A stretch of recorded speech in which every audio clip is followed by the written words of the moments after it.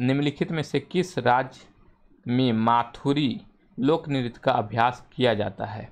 माथुरी लोक नृत्य का अभ्यास किया जाता है कहाँ? किस राज्य में? तेलंगाना में, हरियाणा में, उत्तराखंड में या उत्तर प्रदेश में?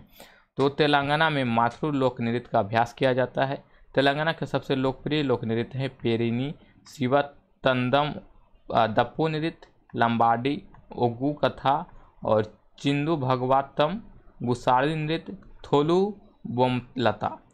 तो यहाँ पर माथुरी लोक नृत्य जो है, वो कहाँ? तेलंगाना में किया जाता है तो ऑप्शन नंबर ए यहाँ पर करेक्ट कर लेना है।